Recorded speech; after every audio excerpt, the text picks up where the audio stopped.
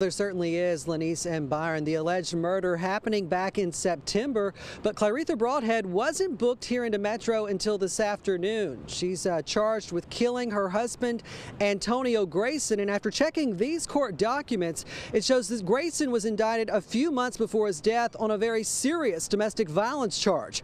Turns out the alleged victim in that case was Claretha Broadhead.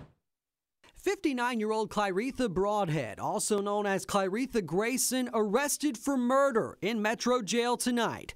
Mobile police say she killed her husband, 55 year old Antonio Grayson. He died more than a month and a half ago.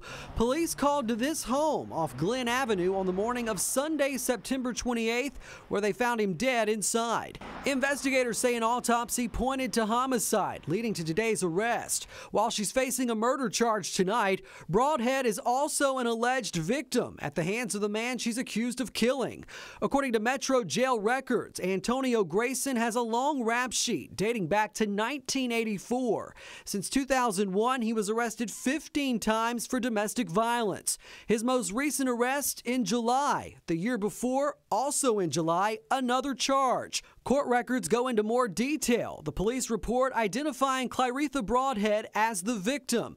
The report goes on to say Grayson assaulted her by trying to strangle or suffocate her, grabbing her by the throat, choking her until she had difficulty breathing, almost losing consciousness.